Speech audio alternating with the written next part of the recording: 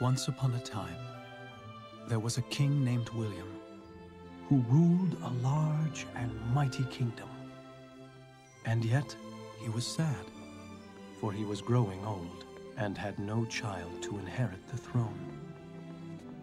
Then, happily, a daughter was born, a princess, and she was given the name Odette.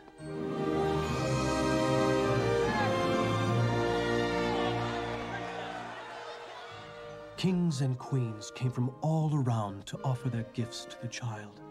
Among them was the widowed Uberta and her young son, Prince Derek.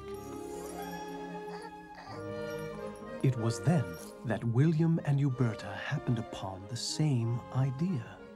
Derek and Odette would be brought together each summer in hopes that they would fall in love and join their kingdoms forever. But unknown to all was another plan, that of the evil enchanter, Rothbart.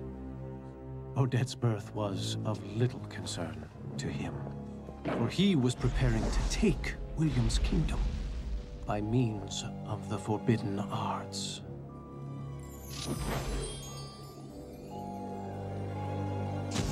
On the eve of his assault, William attacked, and Rothbart's powers were plunged into darkness. Despite calls for his death, the enchanter was only banished. I'm not finished with you yet, Willie.